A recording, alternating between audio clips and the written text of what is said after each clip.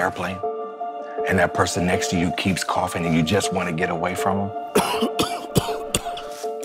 well, I'm that person coughing. It's just unbearable. It never goes away. My doctors have run every test and they still can't explain it. Pick that up.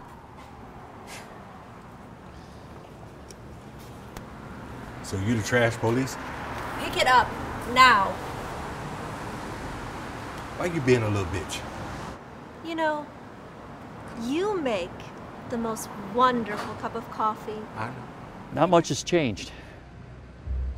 The only other thing is it looks like we might have a fourth suspect. A fourth? A witness came forward and said that they saw a suspect wandering in the canal around the same time Adrian's body must have went over the side of the bridge.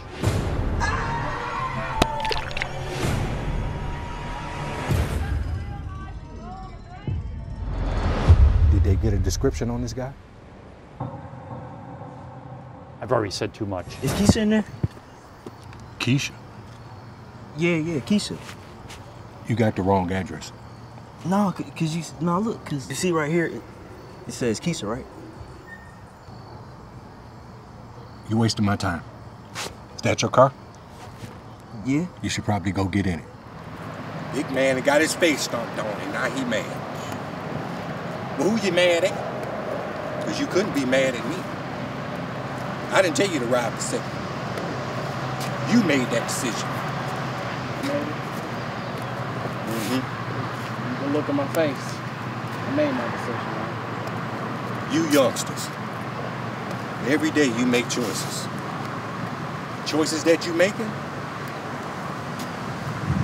are making you choose a side. If she looks like a threat, who's to say she might actually be one? If you want this town to swallow another secret, this is the guy who can help us out. Give us a hand. Sean.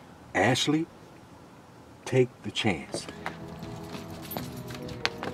Sorry. Just make sure you lock up when you finish it. Thank you.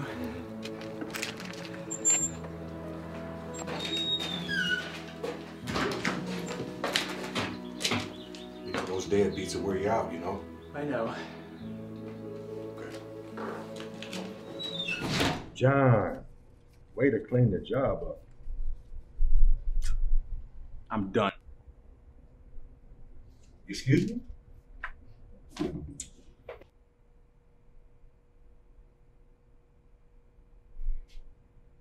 I'm done working for you. You're done when I say you're done. Now take the money.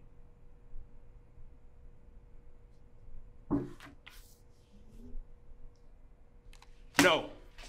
Doing that job for you, I miss seeing my brother for the last time.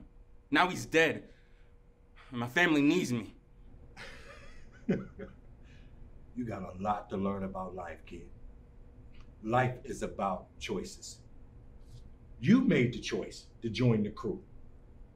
And you made the choice to never see your brother again.